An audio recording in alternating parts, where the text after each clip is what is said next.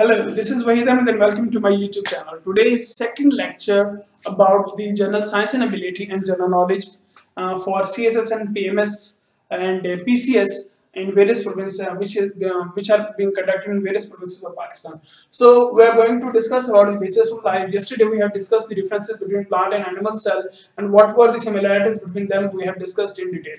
Now we are going to take each and every organ and discuss it separately. I have divided this lecture into two parts because we are going to discuss in detail the structure and function of each and every organelle present in the cell because it's a it's an important part of uh, uh, examination. So we have to discuss so that no one is left behind in this uh, in, uh, in, this area of uh, biological science of general science and ability okay these uh, these are the mentioned organelles which we are going to discuss in detail First of all, it's about uh, we are going to discuss about the plasma membrane. We know that plasma membrane is the outermost layer membrane of the cell, and the cell wall in case of plant cell. Next, we are going to discuss in detail the structure and function of nucleus, uh, and further on endoplasmic reticulum, ribosomes, Golgi apparatus, lysosomes, uh, glycosomes, and then we are going to discuss the skeleton of the cell, which is known as cytoskeleton, which also helps in the formation of centriole and at the end plastids and minute organelles which are being discovered uh, with the passage of time will be also discussed. I have divided this lecture into two parts. In the first part, we are going to discuss about the plasma membrane and cell wall, nucleus, and endoplasmic. These are the major organs we are going to discuss in detail in this lecture. And in addition to endoplasmic reticulum, it is important to discuss the ribosome here. So now I am going to start with my lecture with the plasma membrane. Where we know that plasma membrane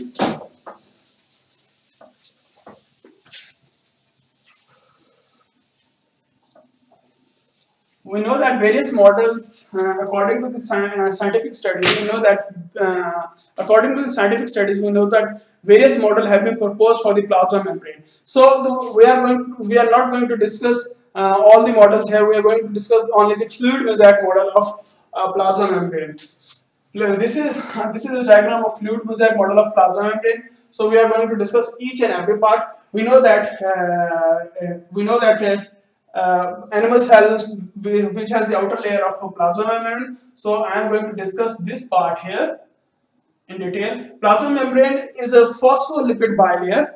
According to fluid mosaic model, it is fluid mosaic model. It's a fluid mosaic model. Uh, it is made of two phospholipid layer.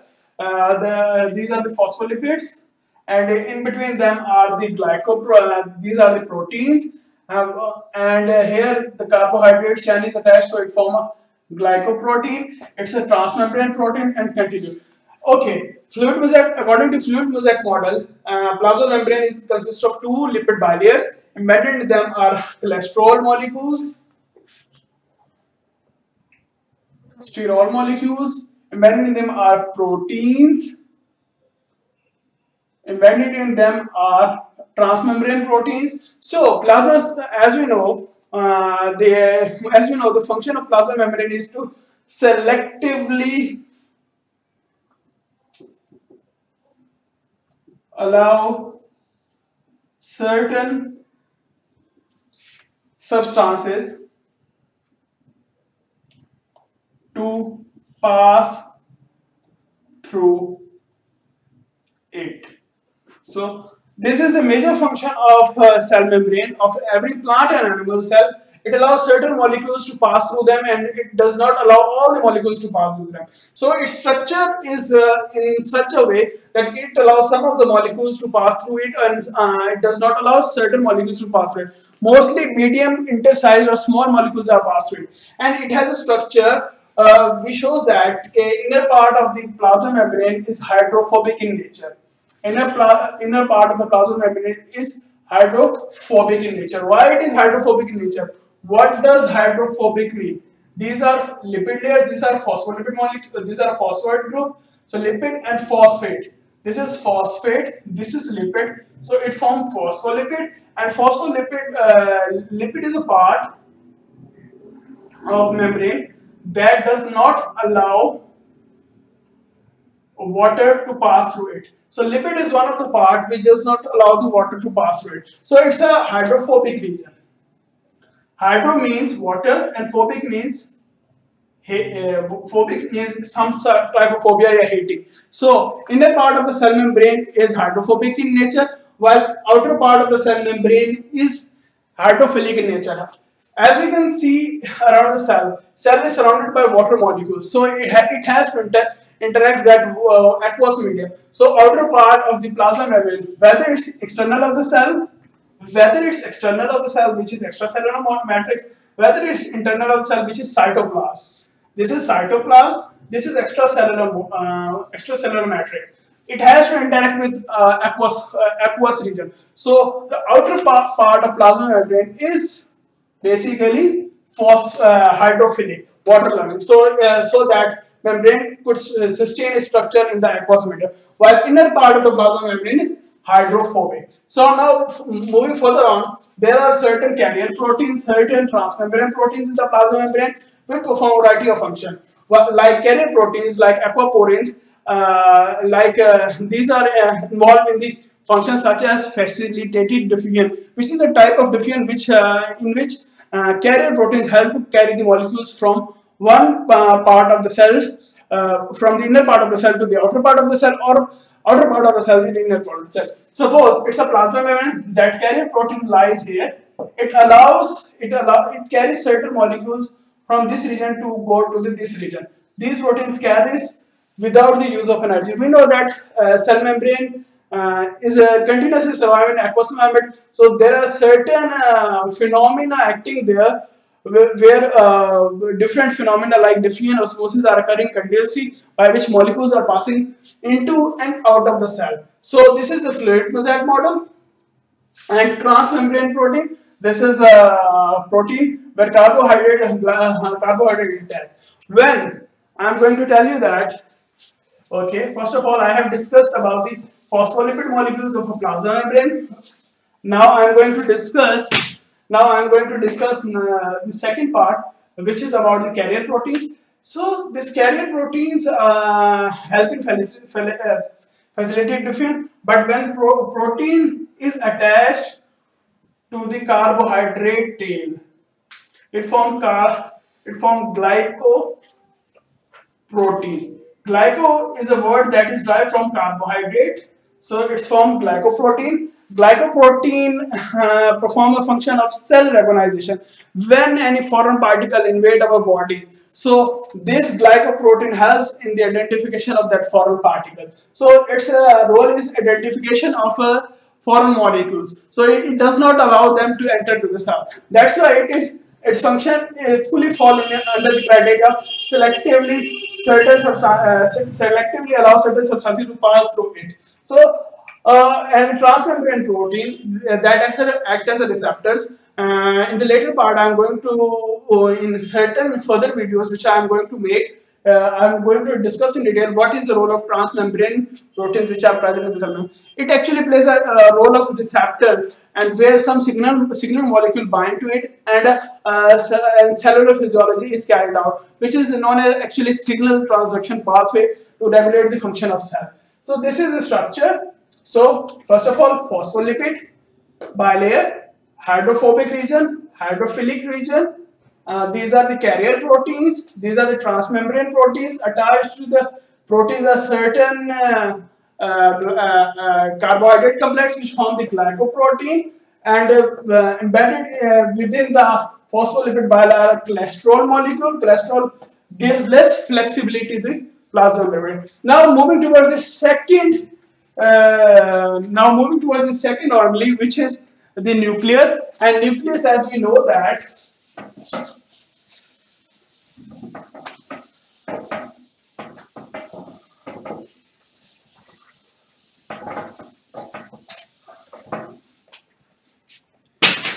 uh, as uh, I'm drawing the animal cell, this is the nucleus. As we know that nucleus uh, is called CPU of the cell. CPU of the cell or basically a brain of the cell which control all the activities of life.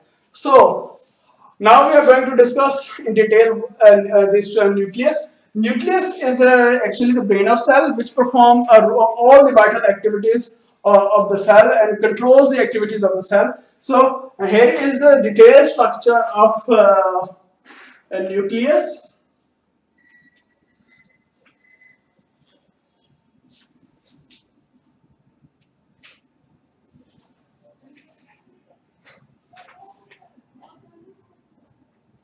Okay, here is the detailed structure of nucleus. Um, though my, my diagram might not be so well drawn, but it's a circular in shape and it contains a heavily dense part which is also known as nucleolus.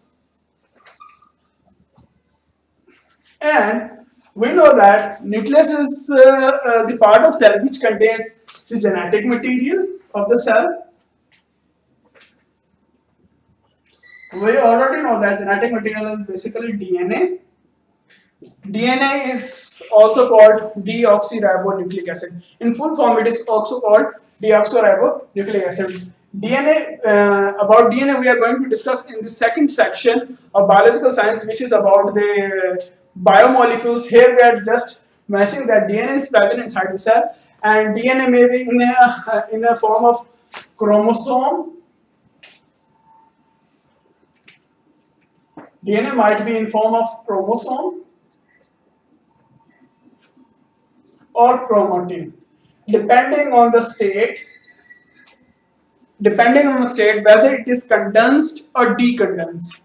When it is condensed it is referred as heavily condensed it is referred as chromosome because it is uh, apparently visible. The structure of chromosome is as follow.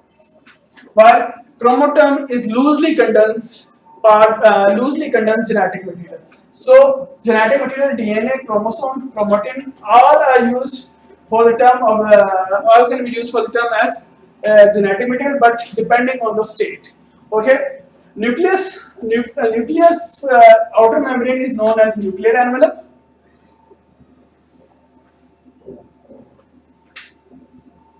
Okay, uh, nucleus outer membrane is known as nuclear envelope, and the second part a second part uh, between them is a nuclear pore. Okay, this is nucleolus. Okay, okay, and rest is genetic material as I have described before.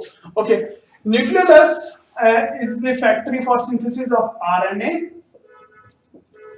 RNA uh, there may uh, there are um, many types of RNA. Here, ribosomal RNA is involved in the formation of particle or subcellular structure known as ribosome.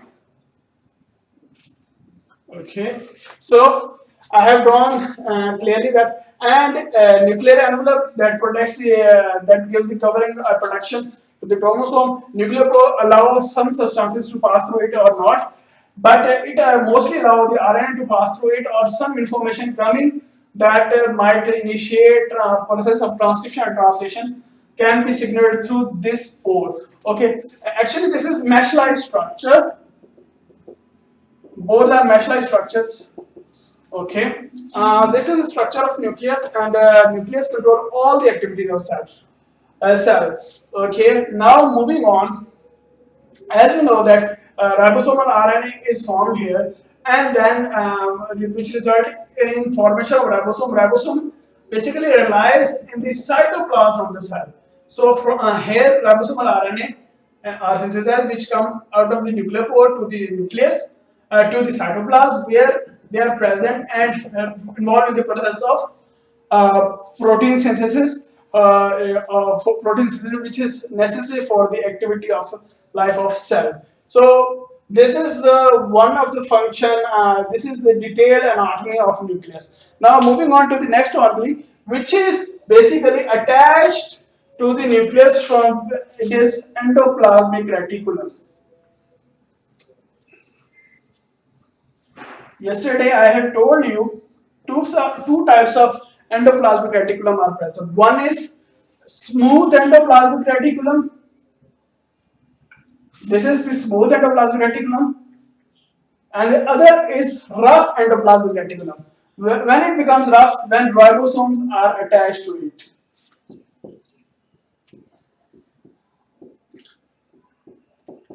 Okay, and uh, the thing I want to mention is that uh, these are sheet, sheets which uh, which emerge from the nucleus of the cell and it uh, plays a uh, uh, endoplasmic reticulum plays a part in the process of protein synthesis and lipid synthesis. smooth endoplasmic reticulum which does not have any attached ribosome to it uh, attached ribo uh, which does not have any attached ribosome to it is involved in lipid and steroid synthesis. While where ribosomes are attached, that part is involved in protein synthesis. So this is the another organelle and the internal part of the uh, endoplasmic reticulum is known as uh, which is the space between them is known as cisternae okay there uh, let me assemble this. There are two types of endoplasmic reticulum. There are two types of endoplasmic reticulum. Number one smooth endoplasmic reticulum which is involved in the lipid synthesis. The second uh, type of uh, uh endoplasmic reticulum which is involved in protein synthesis that is rough endoplasmic reticulum to which a ribosome is attached ribosome is a subparticle which is involved uh, which is involved in the process of photo, uh, which is involved in the process of uh, uh, protein synthesis. So this is all about the three organelles in detail. These are sheet-like structures. So in the next part, we are going to continue from here. Uh, from this, when the nucleus gives the instructions for the process of uh, protein synthesis, endoplasmic reticulum synthesizes, from where the proteins are destinating to different parts of the cell will be continued in the next section. Thank you.